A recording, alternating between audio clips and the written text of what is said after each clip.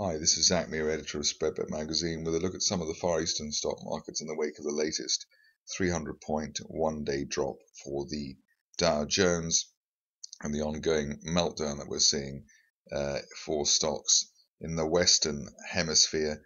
Uh, seems to be quite weak also uh, in the Far East. Uh, the Shanghai Composite here has been in a negative uh, price channel uh, since the beginning of last year. We've had a dead cross between the 50 day and 200 day moving averages uh, sell signal at the end of December, and there is downside follow through on that, albeit not quite as strong as you might uh, perhaps expect. Uh, but the message here really is that while below the 200 day moving average at 22.37, we would be looking for further downside. Any uh, rally here would be a, um, a selling opportunity uh, for a retest of June support towards 1900, 1950 over the next uh, one to two months. Uh, the negative momentum is also backed by, by, a resistance line in the RSI window running through neutral 50, and there's been a couple of failures here at this line over the past few days. Moving even further east uh, to the Japanese market, and uh, here it can be seen that, we, that there's a sort of topping out process uh, uh, in in progress here. basically, the big signal here was the December, uh, sorry, the January February uh, bull trap through the uh, May resistance zone of 16,000.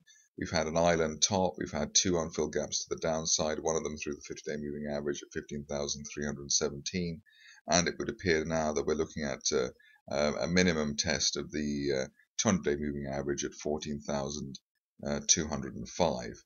Uh, probably the worst case scenario at this stage is a retest of June support towards 12,500 and uh, that really obviously would uh, get the Bulls uh, on the run, uh, given how much of a, a, dead certainty, inverted commas, this market looked uh, to be in terms of following uh, dollar yen to the upside. I'm finishing off with the Hang Seng, and here we see probably um, um, well, the most blatant signal of the three uh, markets here unfilled gap through the 200 day moving average at 22,497. Uh, classic sell signals. You can also see the post September uh, head and shoulders formation, right hand shoulder below the 50 uh, day moving average at 23,162. And really, one would expect this market to roll over at least towards 21,500, which was the August support, uh, and probably uh, back down to 20,000 over the next two to three months. So uh, a very, very negative picture here for the Hang Seng. Uh, any strength towards the 200-day moving average uh, now at 22,497 would be regarded as a shorting opportunity, which uh, probably the bears would welcome with open arms. There's also this uh, line of resistance in the RSI window just above uh, 50, which preempted the downside move.